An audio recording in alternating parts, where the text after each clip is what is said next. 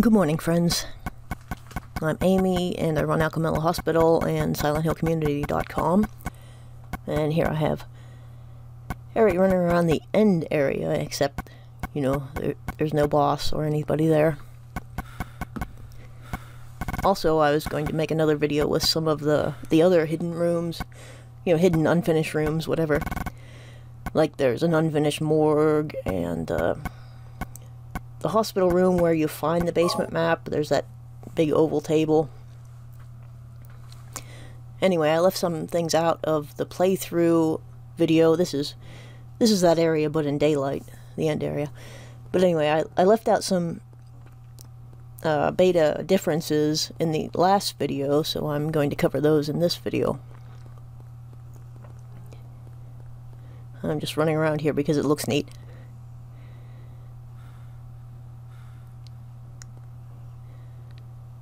Also, I wanted to cover the monsters that Roocker666 found. And he just posted some more videos of these, so check out his channel also, Rodolfo Nunez. Uh, we'll put a link uh, in the description for the video. So this is the unfinished morgue. Those are the beds there.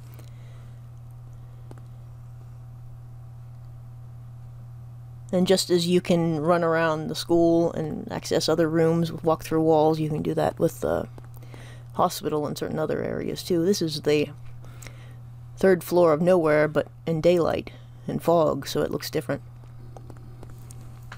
This is the, maybe the boiler room, I think, except you can't see the boiler because of where he's standing. It's sort of uh, invisible to you from that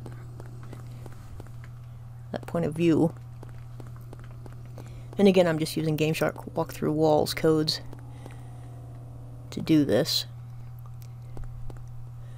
Okay, there, there's that room again. See, that seems to be the boiler. There. Now we can see it. And Roocker666 also did the beta mod, which I linked on the modding page, where you can uh, fight against some of the monsters that were in the files, but not in the not in the final version of the game, like the moths, which just strike me as kind of cute. They're like big Pokemon and, not really, you know, intimidating. Okay, here's that room where you find what is it the basement map. Anyway, first floor, Alchemilla Hospital. Okay. The basement map or the basement key. And there's another room you can get to.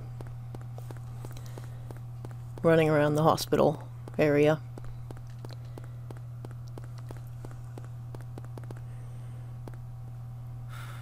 And this has... Hmm. Is this where you meet Kaufman? How many doors are there? Not sure. That looks like the table and like a cabinet and then some sort of bench.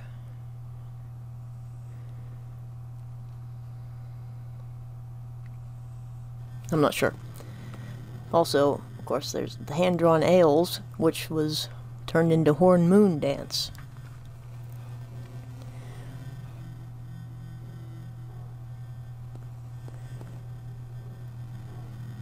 Which reminds me that ItEndsWithTens on um, GitHub. Did like a disco mod on uh, and posted this on Twitter. I put a link to that also to the um, map tool. The other church painting was originally just covered up with this red cloth with the seal on it.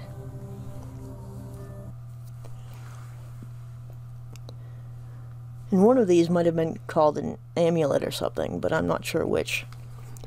So I'm not sure about that. Unknown liquid was um, liquid, unidentifiable, emblem of Caduceus, or Caduceus, uh, as you might want to pronounce it, but it's basically the same thing, and I have some more information on that meteoric iron ring becomes an a, a ring of unknown material, the Ring of Contract. So originally we knew what it was. And the, the dagger of multiple magi becomes the dagger of Melchior, which is only one magus. Tablet becomes disc. Not, not a big deal there. And all of the nowhere keys had, all five of them had different names. So I'm just putting the different ones here. Ifrit, Bahamut, Sphinx, Garuda, Quetzalcoatl, rather than, you know, Phaleg, Bethor, Aratron, etc., which we had in the final game. Konami logo is a little bit skewed there.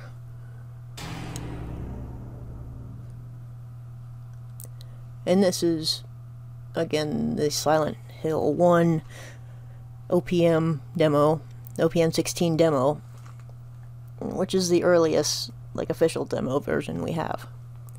So I just have a side-by-side -side showing the Cybil cutscene because some of the dialogue has changed. Also, Harry is lifted up a little bit in the final version.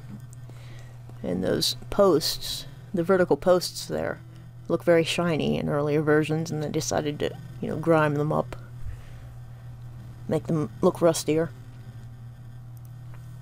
in the final. And some of this is just, you know, midway from the original translation from Japanese to the final. And on that note, um, Nora Stevens Heath was interviewed by William Lockwood of Rely on Horror, so you can check that out. She did like the puzzles and things, the translations from the Japanese, and Silent Hill 3, and the unvoiced, you know, Heather's thoughts, and the puzzles, and song lyrics, and things like that. So that was interesting. Because we all know Jay Blau, but she also worked with him. You can check that out. They're just minor details here, you know. Stop versus, you know, hey, wait, stop.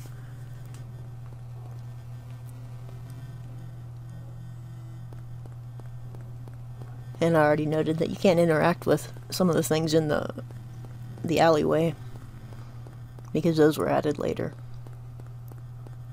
the wheelchair and the, the gurney. He won't comment on them. In, in this, I think he, he won't comment on the uh, dead stuff there. Starting to get better at this. Running through that alley again, but not perfect yet.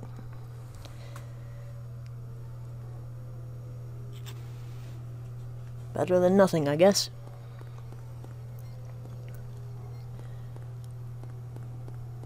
And again, depending on regional differences, this could be Clawfingers or Grey Children here.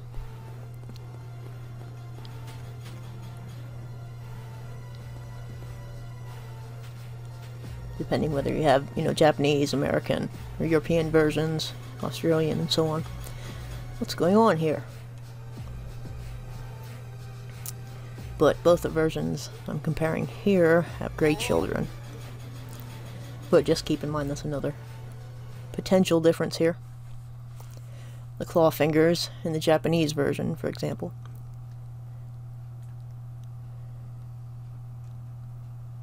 Okay, Harry and Cybil cutscene.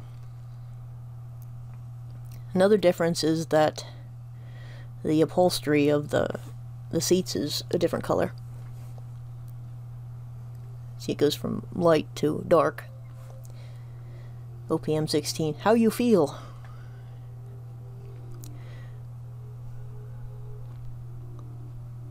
OPM 16 is on the left, final on the right, final US version, I should say.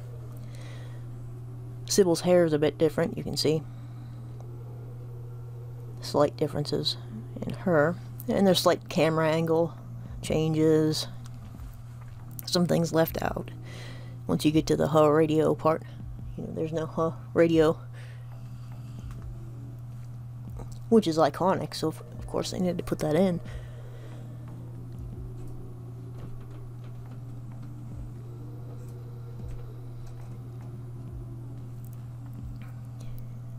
Something bizarre is going on. That's all I know.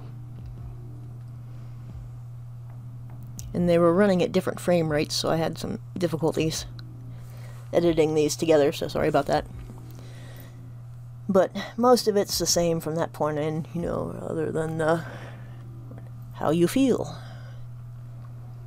And leaving some things out, rewording things, uh, like when he's talking to Cheryl, too. There was a camera angle change.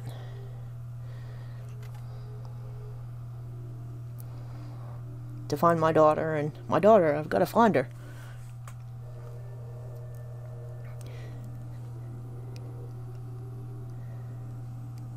Have you got a gun? No. Because, of course, American cops would just hand random guys a gun. I love it.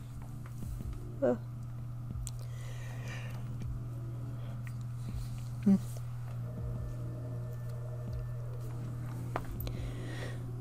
But yeah, other than that, um, those little, what are they? They're little worm things before the the sandworm boss. Uh, Ruger had inserted some of those in random places too. Eventually, I'll try to figure out how to do these things, but in the meantime, you know, also the saving loading screens, of course. Pullman Street, Stanley Street, and Wrightwood. Rather than Old Silent Hill, it's Wrightwood. Finney becomes, or rather, Stanley becomes Finney, Pullman becomes Bachman. What's that? Versus what? Huh, radio. What's going on with that radio?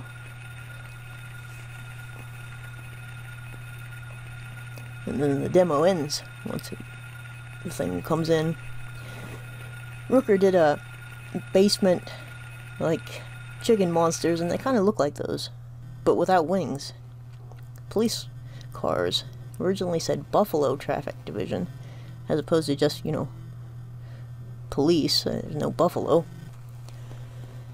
Uh, since we're in Silent Hill and not Buffalo, I guess.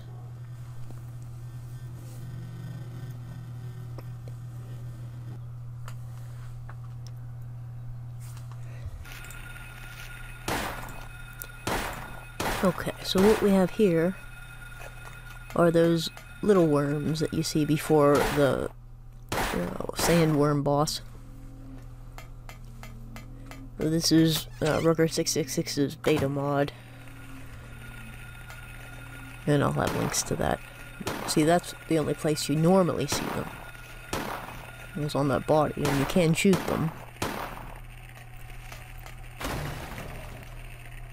But you don't normally see them elsewhere. That's all. Also, the doctors and nurses had different uh, skins on them. So he's got like a different face.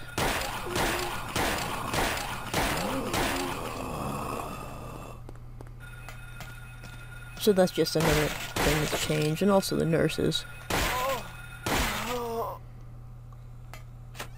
Nurses had different jacket colors and hair colors faces. I think there are a few of each. Two or three. At least different character skins here.